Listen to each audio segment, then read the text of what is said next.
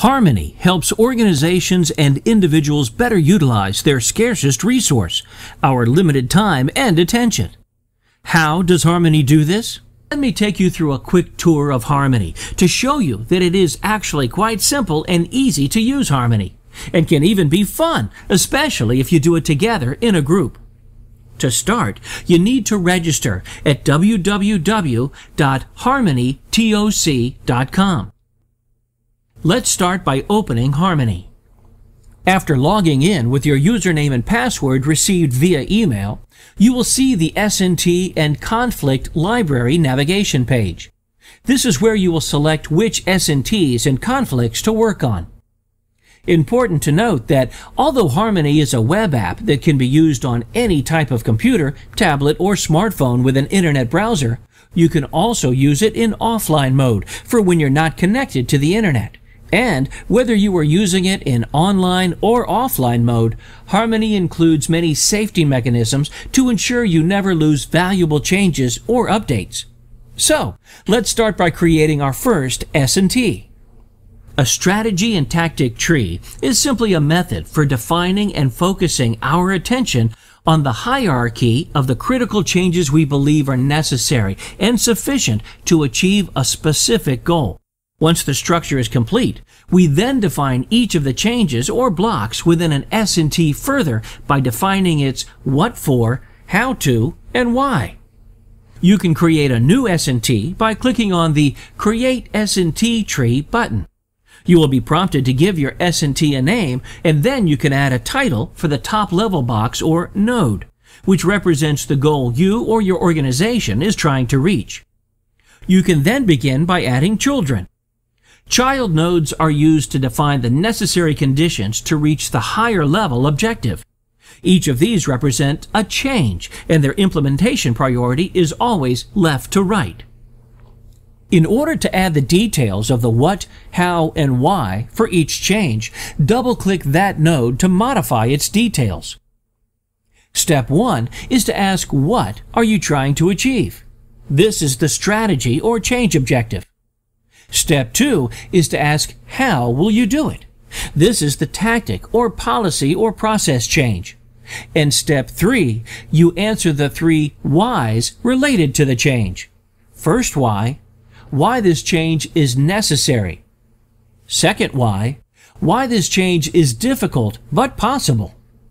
Third why, why this level of detail might not be sufficient to ensure successful implementation. You can also attach or hyperlink files to specific change details to help explain the change to readers or viewers.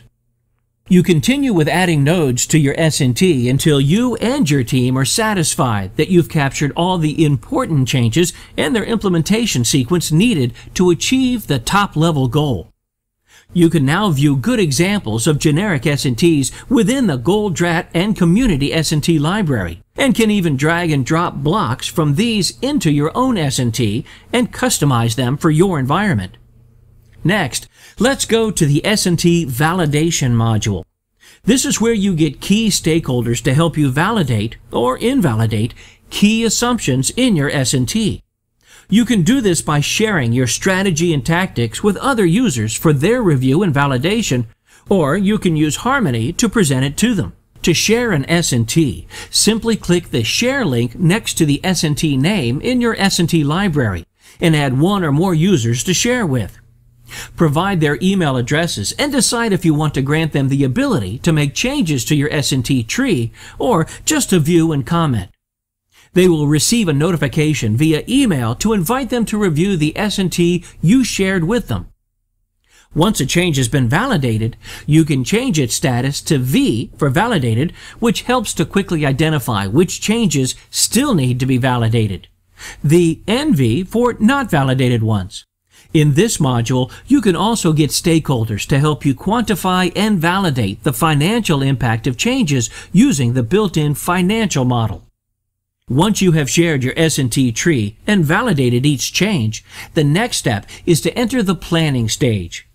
The S&T planning module is where you will define the resources needed to implement the proposed changes. You start by defining and then allocating resources, such as strategy owners, those accountable for achievement of a strategy, tactic managers, those responsible for implementing a tactic, and task participants, those helping the tactic managers. Then, with these team members, you estimate the time to achieve each strategy and time to implement each tactic.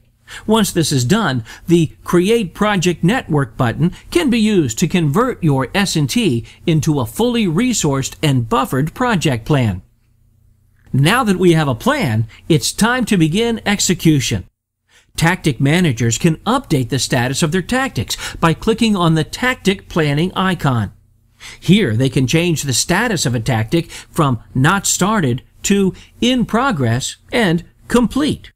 Since it's so easy to end up working on too many things again at the same time, there is even a freeze option to help you prevent such bad multitasking.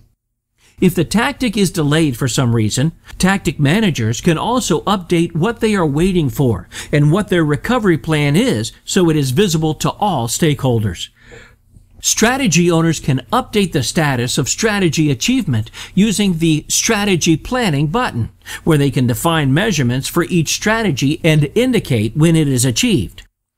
Go to the S&T execution module and you will be presented with a dashboard showing the status of your implementation on the S&T tree. Each node is divided into two. The top part showing the status of the strategy achievement and the bottom part showing the status of the tactic implementation of that change. If a tactic implementation or strategy achievement is delayed, it will become red, showing everyone exactly where their attention is most needed. An important part of implementing any change is the need for frequent audits to ensure the implementation stays on track and to check if your starting assumptions turned out to be correct or not. The S&T audit module allows you to perform such analysis by guiding users through four simple steps when our implementation gets stuck or we are not achieving our desired objectives. Step 1. Gap analysis. What is the undesirable effect or problem we are facing and why is it important to resolve? Step 2. Conflict analysis. When a problem has not been resolved yet, it normally means a stakeholder is stuck in some kind of change versus not change conflict. We can use Harmony to help define such conflicts by first defining the competitive actions of the change versus not change conflict, and then the positive and negatives of the change versus the positive and negatives of not change. Step 3. Conflict resolution. Now that we fully understand the conflict and views of all sides, Harmony guides you through four alternative ways to resolve the conflict. These four ways allow us to directly expose and challenge assumptions that block resolving the conflict in a way that gives us most of the positives with least negatives. Step 4. Yes, but to enable stakeholders to help check and improve our new solution, Stakeholders can contribute by defining their yes buts and how to overcome these. Harmony then converts the outcomes of each of these four steps into a new planning or execution best practice presented in the S&T node format that can be saved in your conflict library as a best practice or added to your S&T as a new S&T node. Our how-to guide, found on www.harmonytoc.com, provides a more detailed overview of the theory and process steps, as well as real-life examples in using each of the five Harmony modules.